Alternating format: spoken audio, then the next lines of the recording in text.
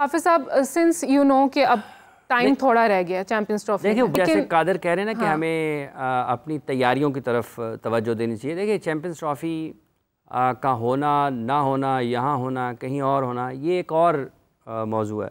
Pakistan cricket team आ, की जो कारकर्दगी है ये एक और मौजू है। ये कादर ने बिल्कुल ठीक है कि हमें वैसे तो पाकिस्तानी जैसे हम बात कर रहे हैं कि सबसे पहली और बुनियादी ज़रूरत और पाकिस्तान की ख्वाहिश और पाकिस्तान का जो हक है बुनियादी तौर पर जब आपको चैंपियंस ट्रॉफी किसी और ने तो दी नहीं है यूएनओ ने तो नहीं दिया आके ना यूनाइटेड हाँ नेशंस ने आके आपको चैंपियंस ट्रॉफी दी इसी आईसीसी ने उसकी मेज़बानी पाकिस्तान को दी हम्म, है। और तो अब ये आईसीसी की ज़िम्मेदारी है कि तमाम चीज़ों को यकीनी बनाए ठीक है? लेकिन जो हमारे स्टेडियम्स के हाल हैं डू यू थिंक के इतने कम टाइम में सब कुछ मैनेज हो पाएगा? देखिए हाँ अब चूँकि वक्त कम है जो चीज़ छेड़ी है इसको वक्त से पहले मुकम्मल करना तो ज़रूरी है। हम्म।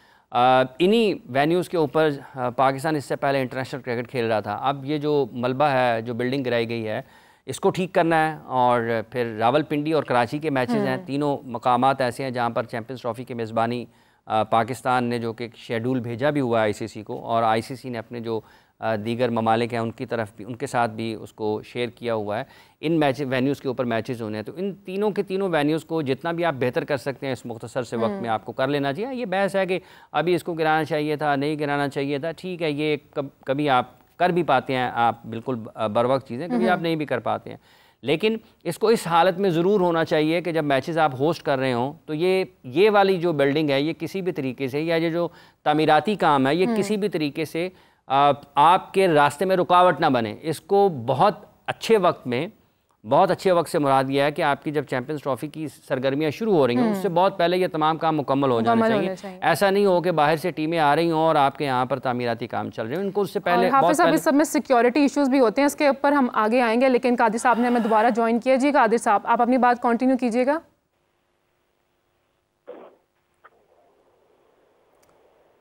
जी कादिर आपको आवाज़ आ रही है?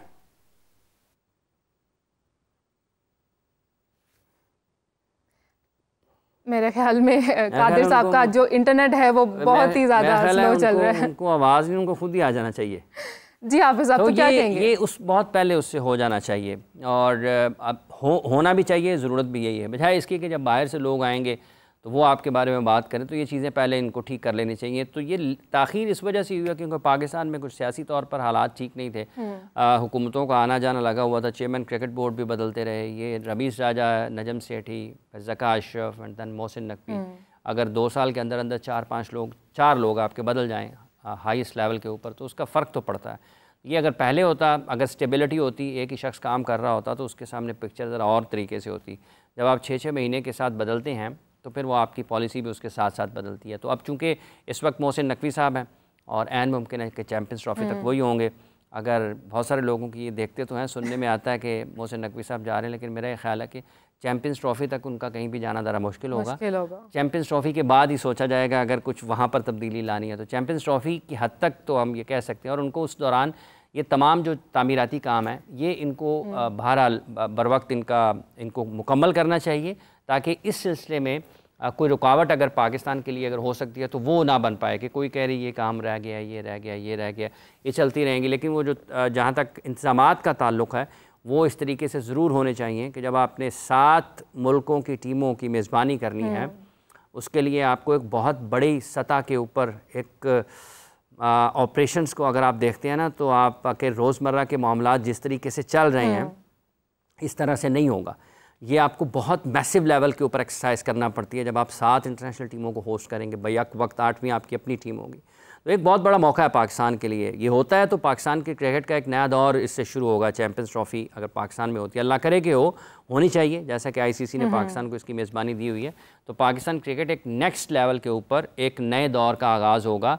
क्योंकि छियानवे के बाद 1996 उन्नीस सौ छियानवे के बाद से लेकर 2025 हम्म। को जब चैंपियंस ट्रॉफी होगी तो ये उनतीस साल हो जाएँगे उनतीस साल के बाद पाकिस्तान आईसीसी के किसी इवेंट को होस्ट कर रहा होगा तो इसके बाद यकीनी तौर पर एक नए दौर का पाकिस्तान के क्रिकेट आगाज़ हो सकता है अल्लाह करे कि जैसी चीज़ें हमें इस वक्त बाहिर नज़र आ रही हैं हम्म। ऐसे ही चलें किसी किस्म की कोई रुकावट हो ना और पाकिस्तान सारे के सारे मैचेस जो आईसीसी के हैं। ये हाइब्रिड भी अगर चैंपियंस ट्रॉफी हो रही है पाकिस्तान में तो फिर ये हाइब्रिड भी नहीं होना चाहिए। फिर ये पाकिस्तान में ही होनी चाहिए।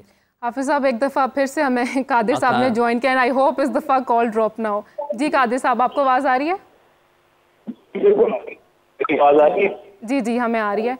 अच्छा काजी साहब अच्छा आप मैंने रास्ता जी मुनकता होने से पहले एक आपको एक चीज़ बता रहा था कि आईसीसी की जो की जो फाइनेंशियल कमेटी है हम्म। उसके सरबराह जय शाह हैं जो बीसीसीआई के जनरल सेक्रेटरी हैं।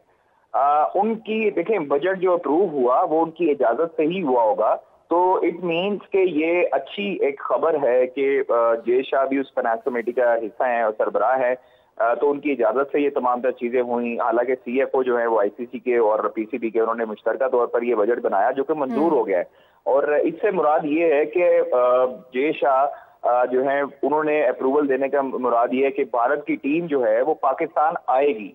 और चूँकि ये आईसीसी का इवेंट है और आईसीसी के इवेंट के जो बैनर के नीचे तमाम तर जो बोर्ड्स होते हैं उनको तमाम तर चीज़ें और टूर्नामेंट जो शेड्यूल आता है उसकी पासदारी करनी पड़ती है और उनको मानना पड़ता है आईसीसी को उसके हम्म। बाद जो है वो देखे अगर हम लोग पहले भी ये ज़िक्र कर रहे थे कि हमारे तमाम तर क्रिकेटर्स जो हैं उनके भी तमाम तर जो क्रिकेटर्स हैं विराट हैं रोहित शर्मा है चंद एक को छोड़ के वो ये चाहते हैं कि वो पाकिस्तान आए और पाकिस्तान हम्म। आकर वो चैंपियंस ट्रॉफी का हिस्सा बने खेलें।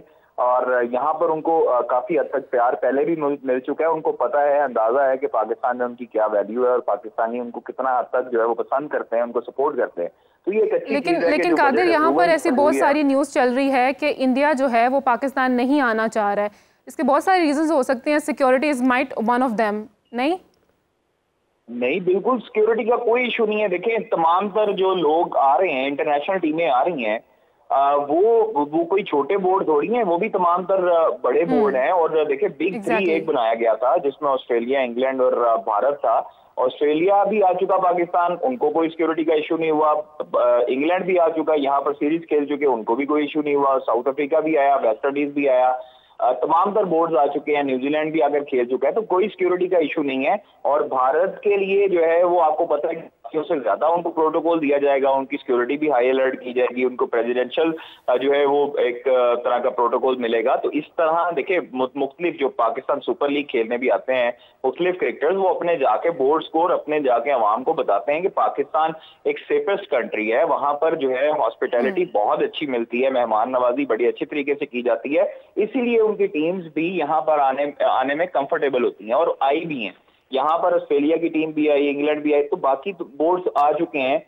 इंडिया का जो मैंने आपको कहा है कि अभी हम किसी खबर को ऑफिशियल करार नहीं दे सकते, जब तक भारतीय क्रिकेट बोर्ड की तरफ़ से कोई ऐसा बयान जारी नहीं होता कि हमने पाकिस्तान जाना है या नहीं जाना है। उससे पहले तमाम तर खबरें जो हैं, वो बेबुनियाद हैं और क्या सराई हैं। इसलिए अभी अभी हमें सिर्फ़ और सिर्फ़ फोकस चैंपियंस ट्रॉफी की प्रिपरेशन पर करना चाहिए और तमाम तर तैयारियाँ हैं उन पर फोकस रखना चाहिए इस हम्म। तरह की जो बेबुनियाद खबरें और जो गलत खबरें हैं उन पर ध्यान नहीं देना चाहिए